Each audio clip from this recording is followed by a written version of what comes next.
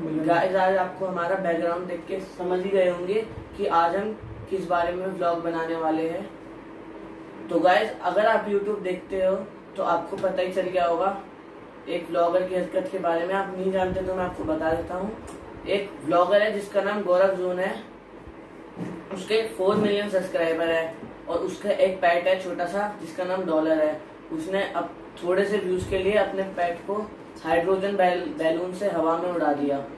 तो आप एक बार ये क्लिप देखिए। चलो अब डॉलर को उड़ाते three two one O dollar उड़ा। उड़ रहा है। अभी देखना है उड़ता है। मम्मी जादू दिखाएँ आप लोगों को। फाइनली उड़ते हुए है। हाँ। अभी आप धीरे धीरे करके छोड़ना। और फिर ये उड़ेगा। बैलेंस बना बैलेंस बना। ओ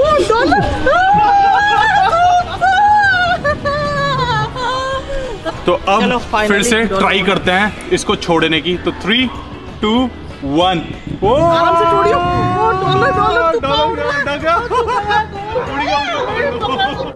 गाइस इस वीडियो के बाद लोग इसको कमेंट में बड़ा बुरा कहने लग गए। और फिर इसको इसने उसी रात ही वीडियो डिलीट कर दी क्योंकि उसको महसूस हो गया था कि इसने बहुत बड़ी गलती कर दी है। को अगर आप सब पेट्स को प्यार नहीं करते तो उनको पालना भी नहीं चाहिए।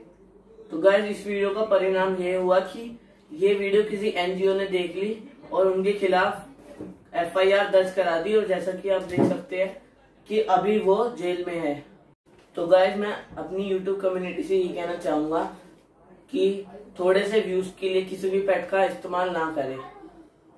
और फ्रेंड्स हमारा भी, हमारे को भी मन करता है पेट्स पालने का, पर हमारे पेरेंट्स ने मना कर दिया, क्योंकि हमारे घर में छोटा बच्चा है, जैसे कि आप जानते होंगे जलस या तो वो हम पहुँचा सकते हैं डॉग को, या फिर डॉग जलस को हम पहुँचा सकते हैं।